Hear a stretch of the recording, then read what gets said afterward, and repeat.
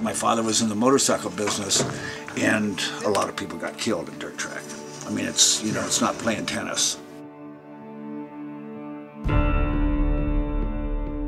A lot of people take it for granted and punch their fucking telephones and run around and, and really don't dig into the to the ground roots of it and find out how to do it themselves.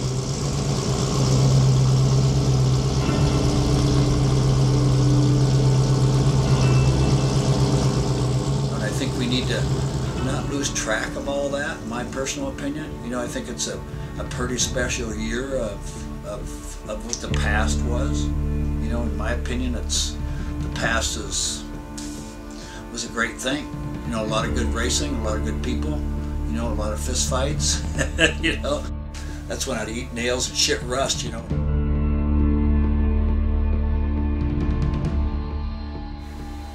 I think it's it's one of them things, man. Once it gets into your blood, if you really love it, it doesn't better.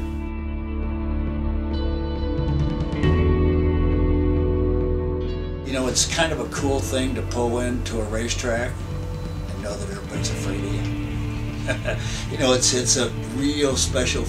They look and go, oh fuck. You know, the man's here. I demand respect. I like respect.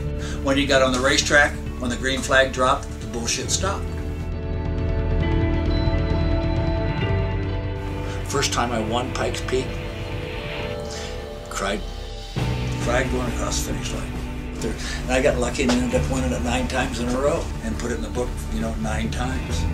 But to challenge the mountain is a is a pretty heavy, it's a heavy deal, man. And you're calling the mountain out, you know, from 7,000 feet up to 14,000 feet. You know, a lot of people have tried and never got it done.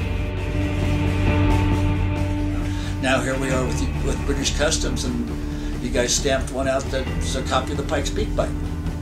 You know, I mean, how cool does it get? You know, it doesn't fucking get any better than that, does it?